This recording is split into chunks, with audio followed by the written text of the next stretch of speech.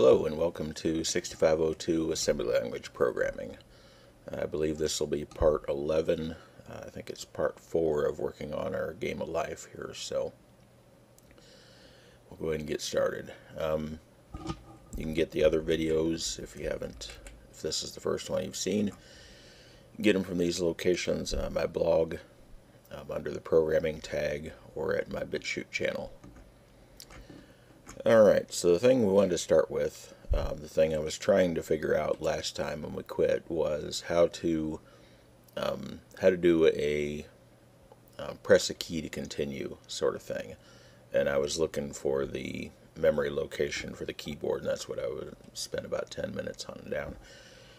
So I found it um, later afterwards, and it's a D4 in zero page. Um, if you look at the zero page map here, uh, the memory map for the Commodore 128. I think it's probably different on the 64, but it's called, and I even said it last time as I was looking through these and didn't realize I was looking at it, but it's called the Key Scan Current Key Index at uh, location D4. And what that what that is is um, 60 times a second. There's a chip, uh, one of the CIA chips. Um, I think that stands for Complex Interface Adapter, I think, um, scans the keyboard and puts whatever key you're pressing, if you're pressing anything, puts it in that memory location. So that happens 60 times a second. And um, what it puts there isn't like the isn't the same as like the screen value of a key because you know your key the way your keyboard is laid out it's in it's in a grid and so things have it sort of seems sort of random as far as what the value of each key is. And then the operating system, if you act, if you ask the operating system for a key, it translates those values um, and gives you the the ASCII value or PETSCII value, we call it on Commodore. Um, when you read it from this memory location directly, you get the raw um, key scan. Um, that's why they call it the key index. It's an index into a table of um, keys or of characters. Now we don't actually care what key is pressed because we're just going to do a press any key sort of thing. Um, but to demonstrate that, if we look at, let's let's see, let's blow this up a little bit, see how this works. In the Commodore 128 here, in the Commodore 128 emulator here, I wrote a little two-line program which peeks for, peeks the value of that location and then just goes loops back and does that again. So if we run that, you see that it's showing 88 over over over and over and over. And if I press a key, like if I press D, then it shows 18. If I press A, it shows 10. W shows 9. Q shows 62 return shows 1 and so it's just checking that location over and over as fast as it can in basic which isn't terribly fast. And so what you can do then is you if you check that location and it holds 88 that means there's no key being pressed and then as soon as it as soon as there's a key pressed it, then it changes to something else. And so we can use that to um, do what we need to do. So let me shrink that back down Okay, so in our code then, we come down to the end of the turn and basically right here before jump back to take turn, before we jump back to the top, we want to put this, we want to put in some code to do that. So we'll just call it, we'll, we'll make a subroutine call get a key. I won't call it wait for key because it doesn't wait. It just checks what's in there right now.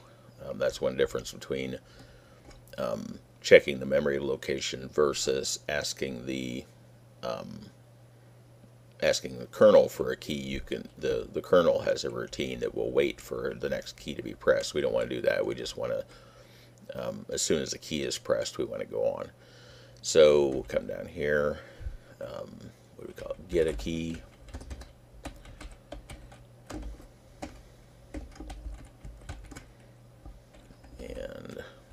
Comment. Um, Actually, we do want to call it wait for key, don't we? For a key to be pressed. Because we're not just going to get what's in there, we're going to get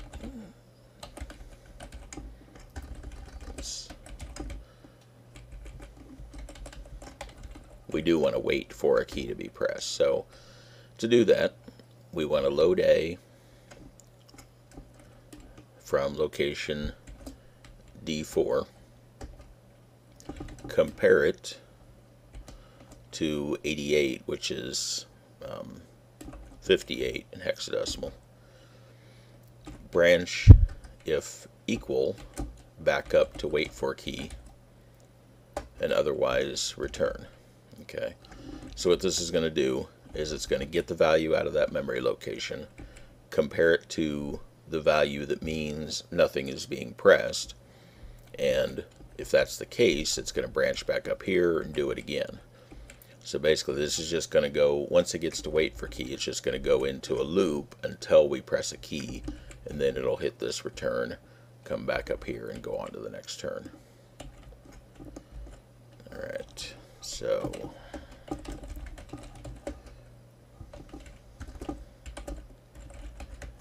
assemble.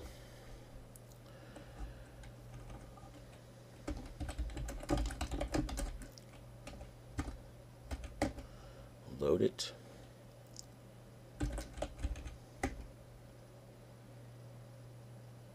Okay, so it should be waiting for our key press now after it went through the, the whole process once. So I'll press a key. Oh, sorry, I gotta press it in the machine, not in the um, not in the monitor. There it goes. Okay, now it's gonna wait for another press. And another one.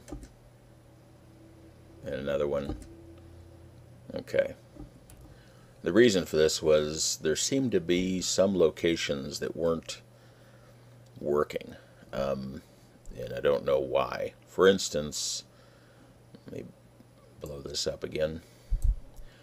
This heart right here, I don't know if my, let's see, put my pointer, let's see, this heart right here is staying alive even though it shouldn't. It's it's got no neighbors and so it should die on the next turn. So let me press this press a key. It's still alive. This one also let's see right here next to it should also die and they're not those aren't dying. For some reason certain locations are staying alive when they shouldn't. No yeah ran out of turns. Okay let's uh, start again. Whoop. Oh. that was weird. Hmm. Yeah, there are certain memory locations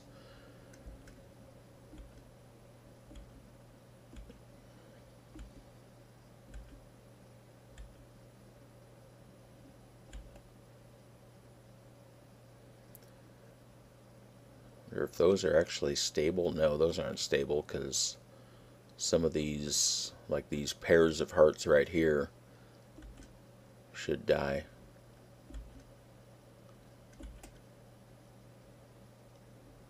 Actually, I think it's just stuck. Let's see.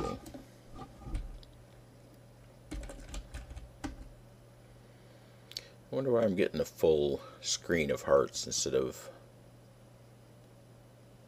instead of them showing up randomly. That's weird. I don't recall changing anything that would be causing that.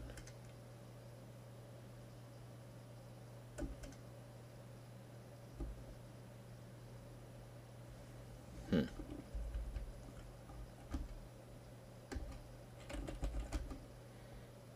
Let's reset.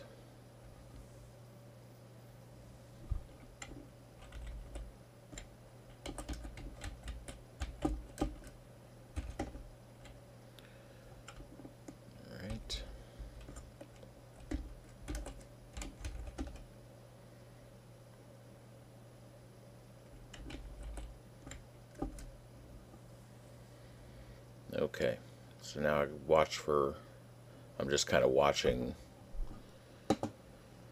because a lot of these hearts, like this heart right here, is alone now. It should die. This over this one should die. This one should die. This one along the side over here should die. Um,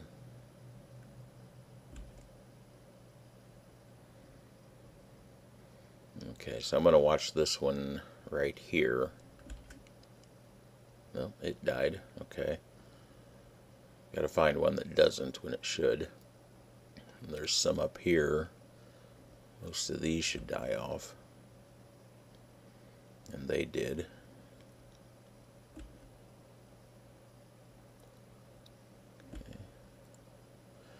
Alright, there's one right there that didn't. And still didn't.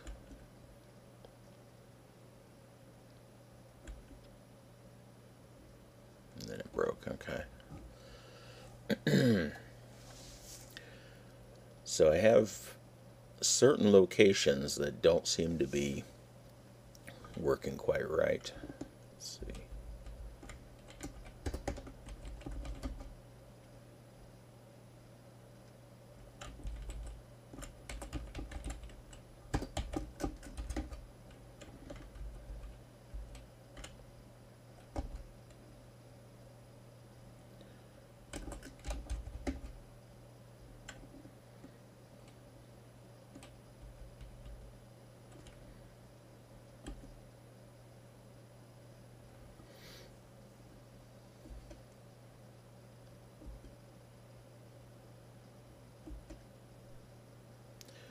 I need to find one of those locations early enough. Either that or I need to expand the number of turns. Okay, there's two two hearts right down here that are alone.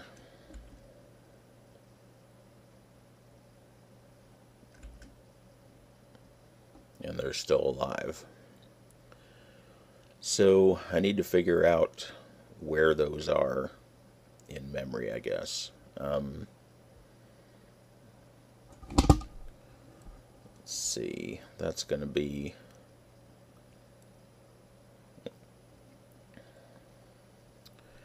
they're on the sixth row from the bottom. I have to do a little figure in here. Excuse me. Um, we got 25 rows, so 25, 24, 23, 22, 21. That's row 20. And it looks like that's position 3 and position 6. So if we do a little math,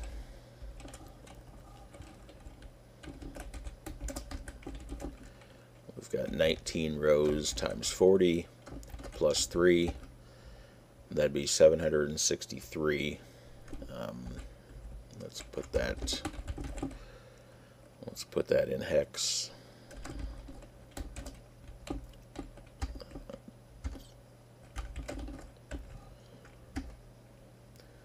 2FB.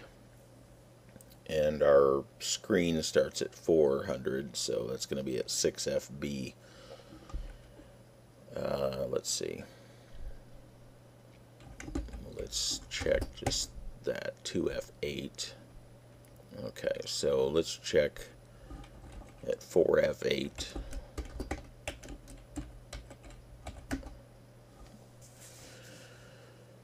Okay, so we have,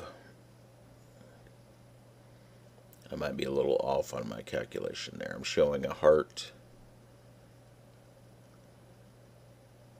in the fifth position and the eighth position.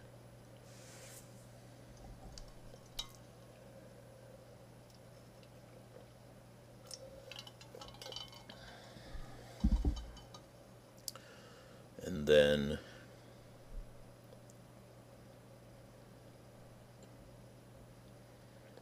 Oh, you know what? I think I'm counting. I think I counted the rows wrong. I think there's 25 rows, but they're they'd be one, two, three, four, five, six. So that's yeah, 19 rows above that.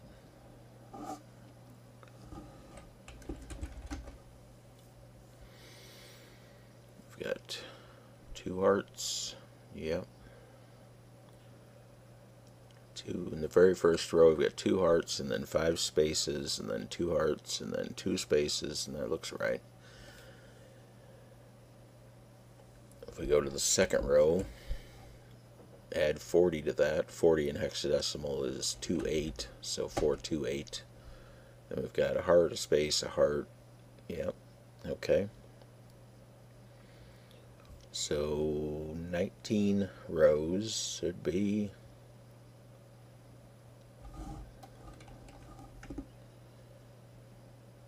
19 times 40. What am I not thinking right? I'm not thinking right. Is I'm thinking something wrong here. What is it? Um,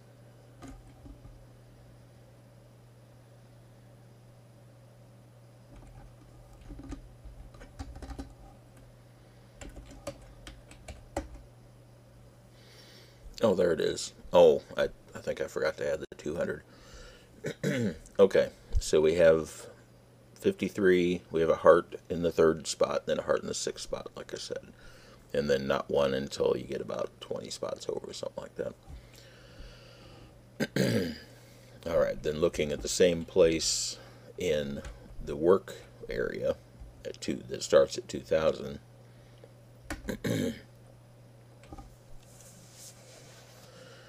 we have a zero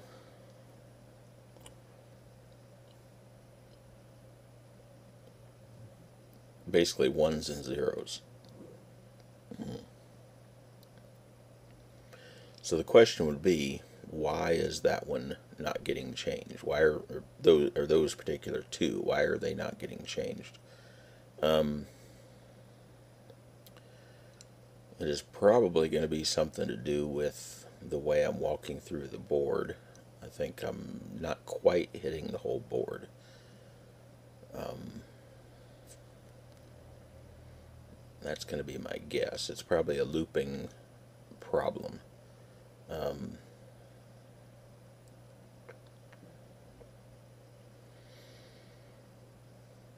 because, yeah, those should those should be going, you know, those should go away on the next turn, and they're not. Now, there are some, when you get further over on that line, you get into some that do have more neighbors. Um,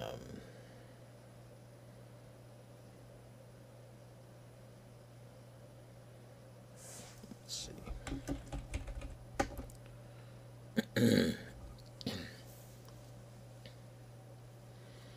yeah, that one is. If I look at the very first line, we've got two neighbors, and then three, and then two, and yeah. And so, yeah, that, that makes sense. Let me see here. 2, 2, F8, just make sure I'm looking at the right thing. Yeah, the third position, the, the heart at the third position in the 19 or the 20th line has no neighbors, but it, the, the two next to it each have a neighbor, and then the same thing with the one at the sixth. They each have one neighbor because they because they're on either side of it but for some reason it is not getting for some reason those two are not getting uh, redone I guess you could say they're not uh, they're not getting handled for some reason so um, let's think about this a bit so when we're coming through the board it's it's figuring the neighbors right. I guess that's the stuff that checks all the neighbors. That's fine. What's not getting done is it's not replacing all the hearts like it's supposed to.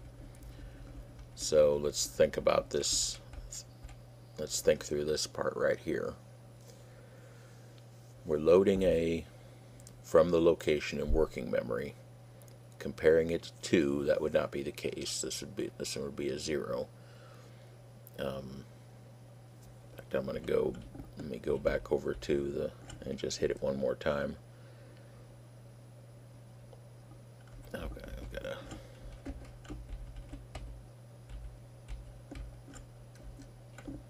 yeah, they're still there. Okay. Alright, so and if I check them again, still zeros. but yeah, they're not getting they're not getting changed in the screen memory for some reason. So why is that? It's comparing to two would branch if equal, but it's not equal, so compares to three. Branches if not equal to dead, loads A with 20, stores that. So it's not it's not getting there for some reason. So that's the question. Why isn't it getting there? Um,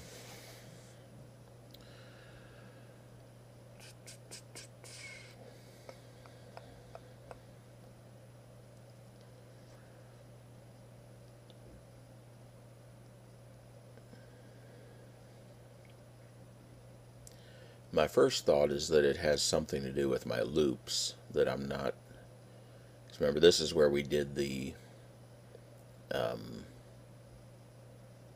where no this no we don't have the we're not doing any well yeah this is where we do the um, the self-modifying code.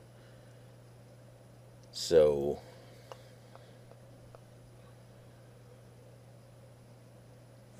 let's look at the code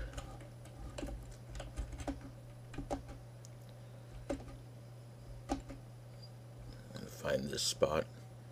Okay so there's the load A from the start of working memory comparing to 2 branching da da da da da da okay and then here we start our loops. We loop it on Y and then looping on X. Um,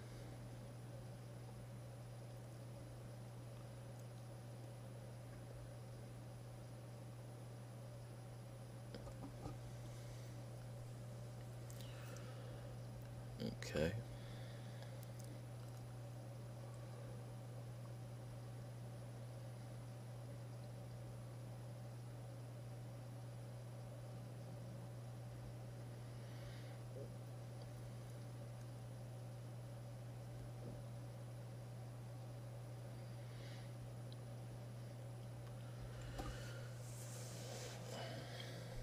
When I load A from working memory, compare it to 2, and then compare it to 3. It, shouldn't change anything. Yeah, that should be okay. It shouldn't, um, comparing doesn't, doesn't change A, it just sets flags. Um, the fact that it's working on almost all the cells and just certain ones, it's not. And I noticed those two the other day, the last time I was working on this too, it seemed like those two cells were not uh, changing, which is just odd. Um, it's got to be fascinating to just watch me do this. Um, and then store it, and then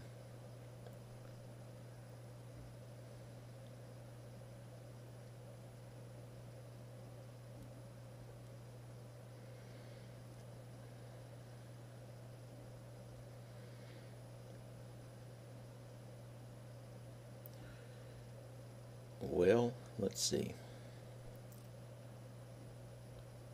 If we want to put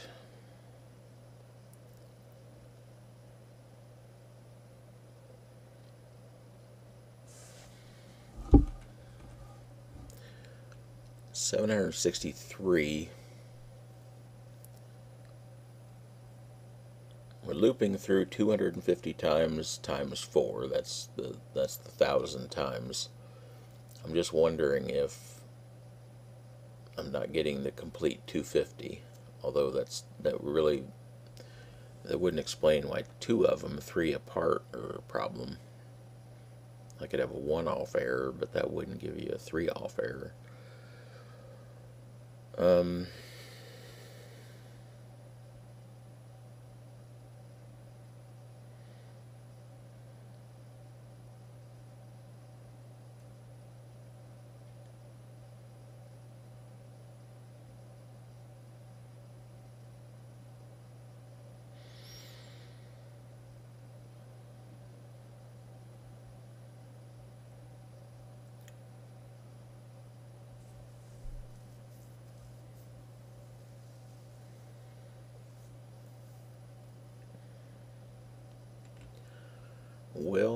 can do, we can set a break at, let's see, we'll put it at, um, I guess we'll just put it at the start of the loop.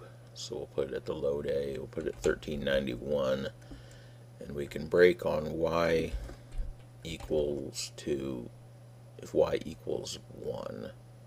I think that's, or how do you do that? I guess. Whoops. Oh, if, that's right. Um,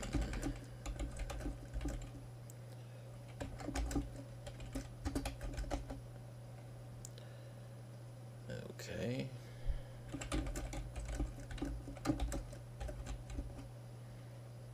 I thought that's how you did it.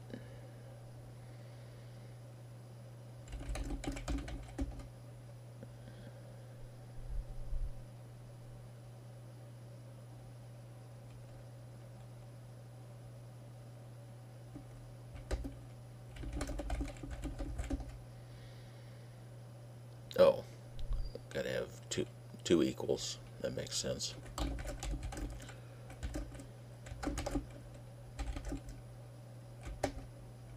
Okay, no dot. Yay, finally worked. Let's see, do I have any other breakpoints? No. All right. So we want we're going to break if y equals 1. And that should be on the fourth roll through which is where we want because our the two that we're looking at are after the the third turn through. They're in the fourth section of the screen so let's try that.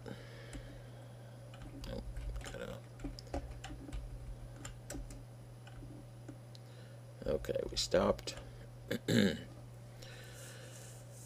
And it's been advanced from where it started at 1F to 22FF so that's correct. That's what we want. Let's see what the code looks like now. So yeah, we're, we're checking the work area now from 22FF and up, and we're storing them at 6FF and up, so that's correct. Um, I don't think there's any, I don't think anything else has been tampered with here. Everything looks right. So now let's see what's at 6F8. We've still got our hearts there at the third and sixth point, the third and sixth spots. And then we've still got zeros there. So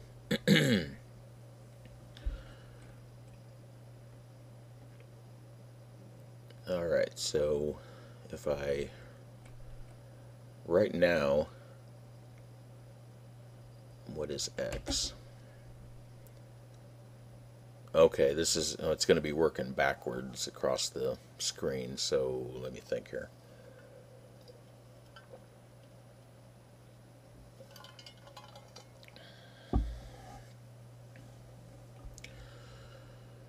Um,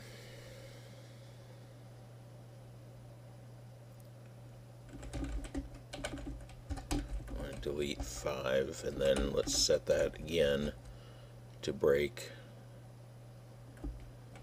if x is equal to 20 and then return. Okay.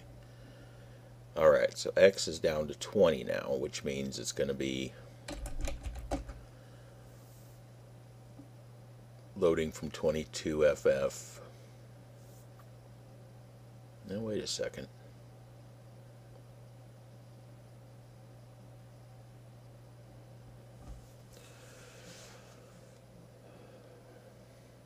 Maybe we're not in the fourth section of the screen. Or maybe I'm just not thinking right here.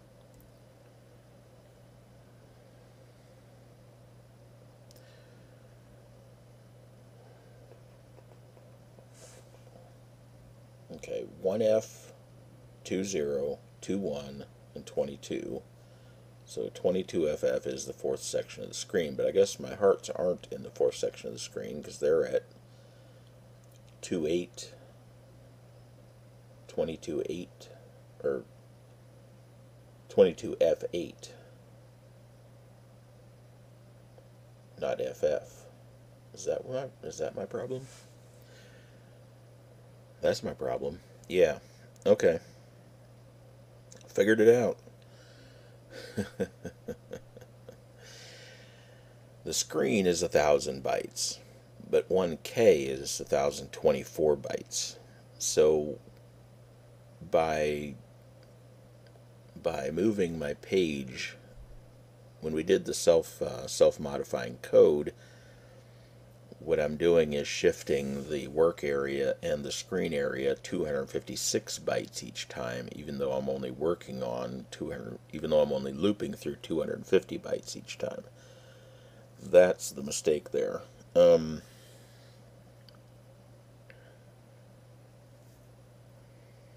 okay. So what I need to do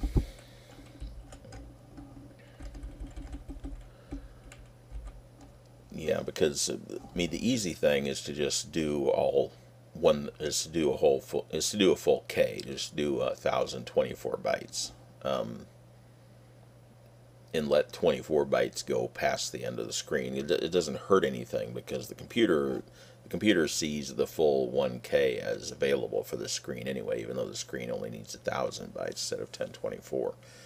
Um, if we make that 0,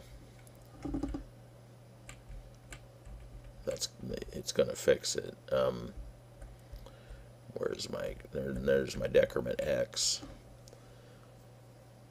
And so the first time it decrements it, it'll de it'll decrement it down to I just want to make sure that it's going to get everyone.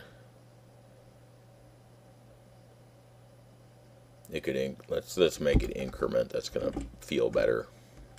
Um, oops. Let's increment x because that way. Okay, so the first time it'll have x equal to zero. That way it'll be working left to right. It'll if I need to check something, I won't have to work backwards. Um, so it'll increment it and then branch if not equal. So the first time, yeah, it'll branch because it's 1, and then so on. So I believe that will fix my bug. And that's why, so basically it was not doing three sections on the screen of six, three six byte sections on the screen. It was not doing. That was one of them. There was another one up, and so like it was screen locations 251 to 256 and then 501 to 506 750 yeah 751 to 756 and that was what we're hitting there on the third one. Um, and that was uh, that was weird. Break All right.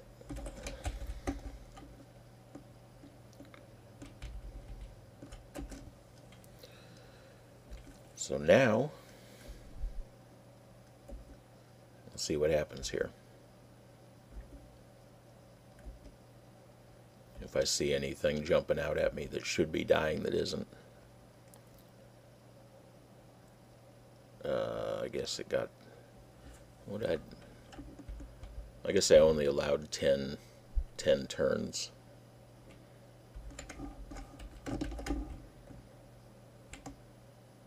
Yeah. Let's just give it 32 turns.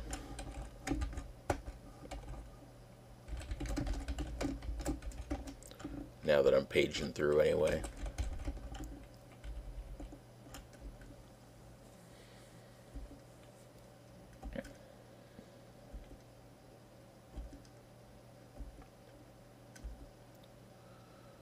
Okay, they seem to be dying out, as they should. We're getting down to, let's see, like these, like a 2 by 2 square is stable because each one has three neighbors. Um, a 1 by 3 section is stable, but it'll switch back and forth. It'll go um, they'll it'll go horizontal and then it'll go vertical and then it'll go horizontal and then vertical this like like like this right here. My pointer actually my pointer is kind of weird. I can't make my pointer go everywhere on the uh,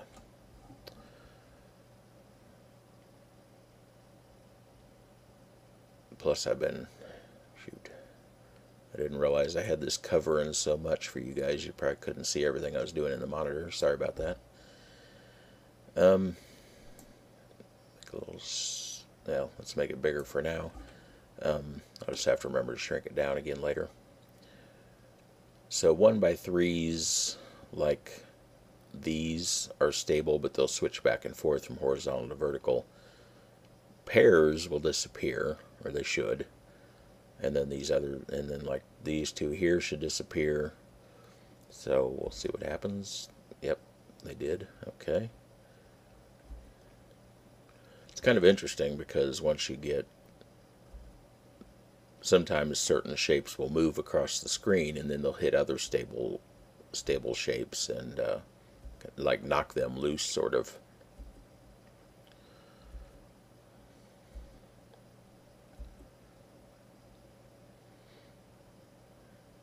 Yeah this like this little this circle up here towards the top is is stable each one has two neighbors.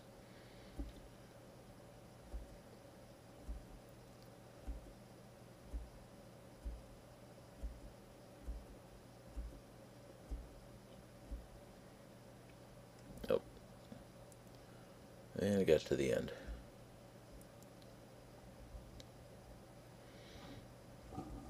Let's um give it 255 turns. So I can let it run long enough to be sure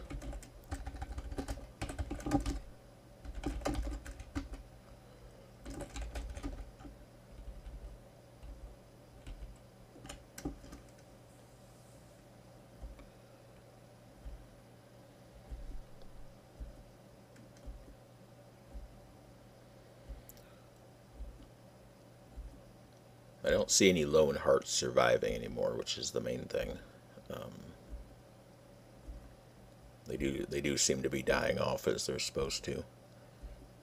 and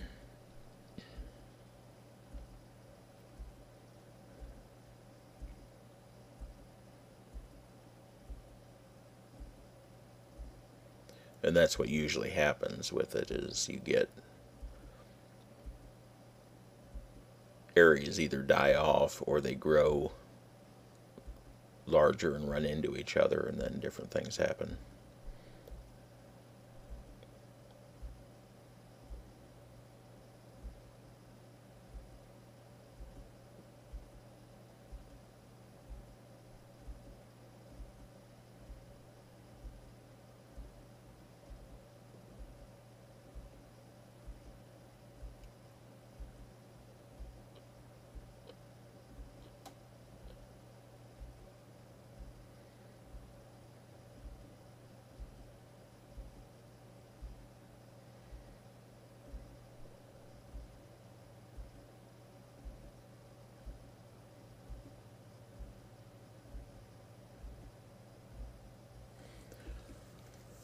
I'm not, uh, I'm, I'm obviously not scrutinizing all these patterns to see if they should be doing what they're doing, but just glancing at it, it seems like they are.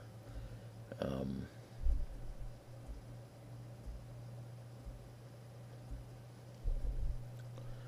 cells that should die from being alone are definitely dying. Now, cells that are crowded, that are too crowded, yeah, they're they're dying off too. So I think, um, and we, I mean, we tested that pretty well earlier. I think looking, just looking at the work area and seeing that the numbers were doing what they needed to do. Um, it's just a question of, yeah, see, there a whole bunch of a bunch of stuff ran into each other on the right side of the screen and and uh, died out.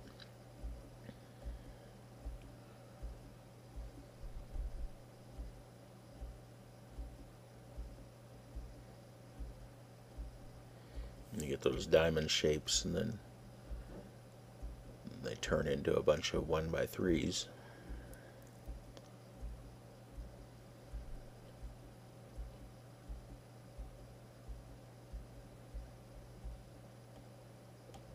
I guess I can just hold a key down because it's as soon as it checks then there's one waiting.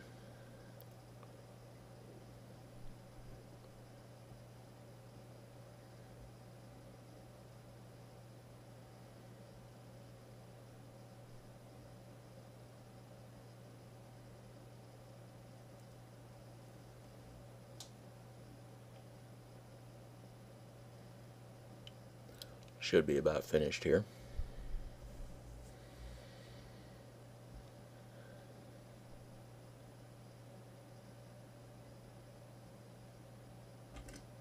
Hey, and we're down to a stable, a stable arrangement, and and there just happened to get done. So, all right, so I think it works. I think it all works. Um, that's what it appears. It appears to work.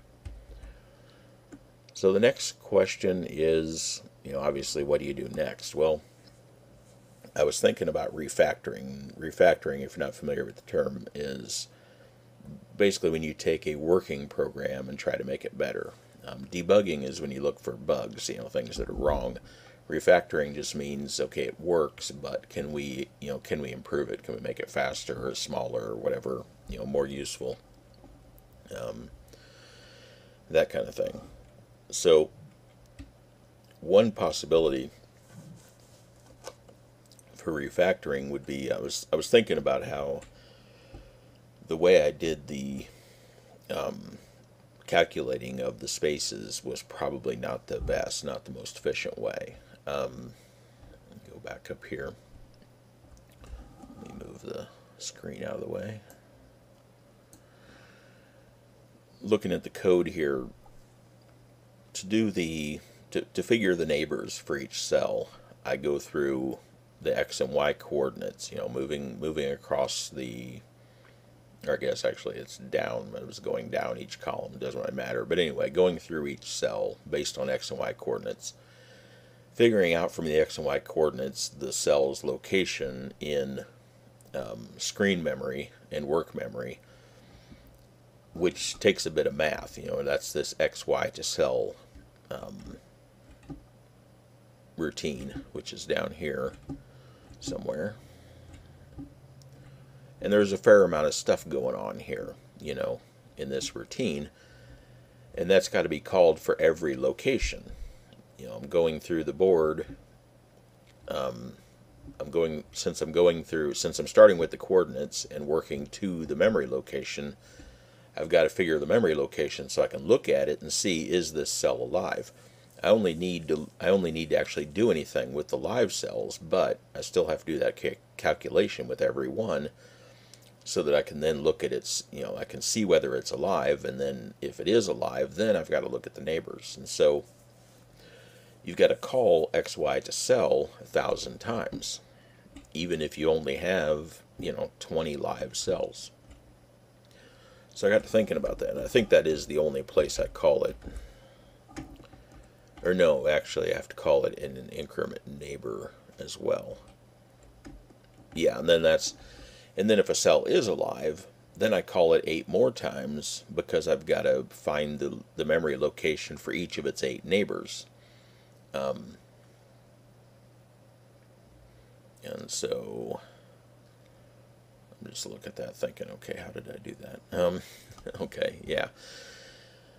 So I was thinking about that. I thought that is really not probably the most efficient way to do that because if I didn't, if instead of going X and Y and figuring out the memory location, if I just walked through the thousand memory locations, I would only have to calculate things for each cell that's actually alive. I could just immediately ignore the dead cells and then when I got to a live cell, I'd have to figure out, okay, which eight locations, or a maximum of eight locations, are this cell's neighbor. Well, that's actually not as tricky as you might think when you stop and think about it. Um,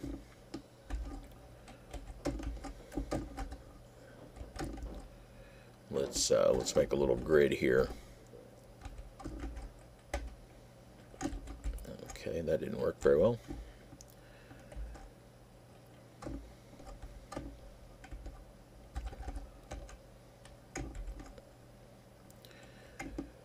Um,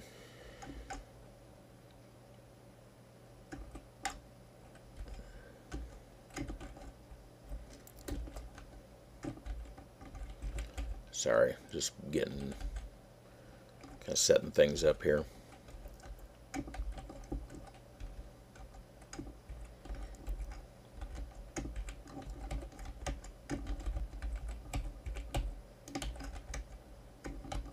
Okay. In the middle here, we've got A. Let's, let's say that's the cell we're looking at. We, we start skimming through the memory locations. We come to a cell that's alive. And it's in memory location A. Okay. A might be, let's say A is 433. It doesn't matter what it is, but let's say that's its memory location. We found a live cell. Well, the locations of its eight neighbors, then we can actually figure with math. We don't need to figure x and y. We can just say, okay, the one above it is a minus 40 because there's 40 memory locations in each line. And then up and to its left would be a minus 41. And then we've got a minus 39. This one's pretty easy. This is just a minus 1 a plus 1. Then down here we'd have a plus 40, a plus 41, and a plus 39. So we can actually find all eight neighbors without figuring, okay, we've got to multiply by 40, you know, without working back or backwards or forwards, however you want to look at it. We don't need to deal with x and y coordinates at all if we just use this math, if we just add and subtract.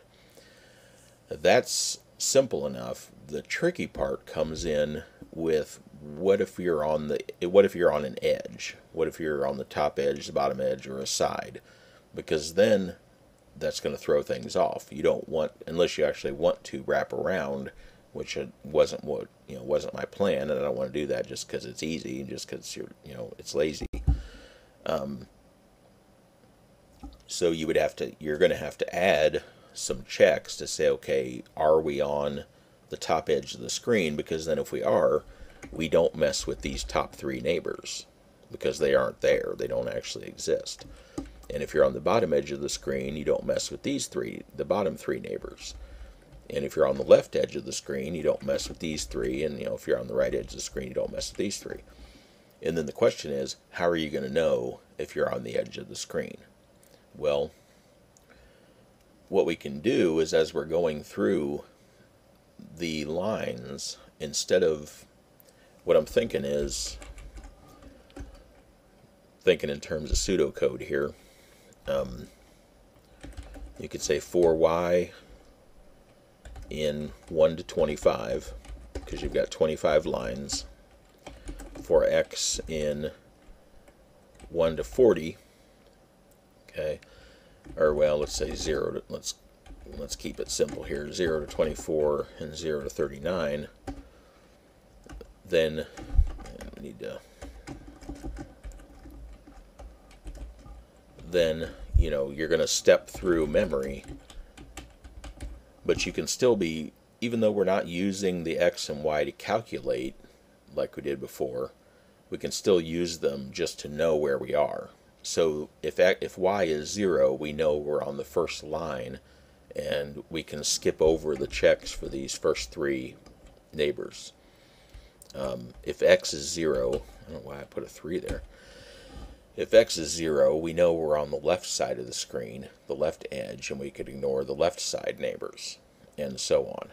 So that's an idea to refactor it. Um, I'm not going to start that right now because that's going to be a fair bit of work, and I'm already up to 50 minutes on this one. Um, but I'm thinking that can actually make things quite a bit faster, and I don't know if it'll make the code any smaller, but it can eliminate all this calculating um, from X and Y to memory locations and you know simplify that that stuff somewhat because um, like I said we're you know we're doing that a thousand times every time through. Every, every turn, we're doing that a thousand times plus eight times for every cell that's alive, and that's really it's quite a bit of calculating because every time you've got to take y times 40 plus x, um, which, like I said, this this xy to cell routine is fairly long. And so that's a lot of stuff to be calling that often, and we can eliminate that entirely. Um, and I think you know it's going to make this part a little more complicated because instead of just jump, well, yeah, so we won't be messing with because Ink, neighbor calls that, so that's the eight times for each cell that's alive. You're um, you're calling that. We won't have ink neighbor anymore. Exactly. Well, we'll have ink neighbors and it'll just do the it'll do the eight by by doing this stuff by doing subtract 41, subtract 40, subtract 39, subtract 1, add 1 add 39 and just do the do the eight neighbors that way because adding and subtracting is just a heck of a lot faster than multiplying um, and so we can eliminate some extra work that way. So that's going to be the plan um, I guess for next time. I wasn't sure whether to work on this any longer or to move on to another project. Um, I did get some comments which was really nice to know that people are are getting something out of these. Um, and it's not just uh, um, not just me rambling, um, or maybe it is just me rambling, but it's still useful. So, um, if you have an opinion, um, certainly let me know what you'd like me to work on next, or if you have any ideas, or you know if you like that idea of, of refactoring this thing. Um, we'll probably, if not, if not the next time, we'll probably do that at some point. Um, another idea I had was to go on to a, a classic program called 10 print which is a one-line basic program that builds a maze um, out of random numbers. And I thought that would be a, a fairly simple thing, a little simpler than this, that I thought could probably be done in one video um, and would show show some interesting things. So um, might move on to something like that. Um, another possibility is there are a lot of um, text-based games that are available that come in a package on FreeBSD called BSD games. A lot of old um, Snake and Rogue and um, robots and just different text-based um, games that uh, I think would be you know manageable to write in a few hours of uh, videos like this. So might tackle um, something like that coming up pretty soon too. So. Um, Looks like it got a little darker here while I was doing this. Um, hopefully you can still see me there. So anyway, um, I guess that's going to be it for this time. And I'll be back next time to either refactor this thing or move on to another project. And if you have any um, comments or uh, suggestions for next time, be sure to leave them uh, somewhere in the comments, either at BitChute or YouTube or wherever this ends up, or or drop me an email. Um, Let's see. My email is aaron at baugher.biz. So you can always reach me that way too. Alright, so that'll be it for this time, and thanks for watching.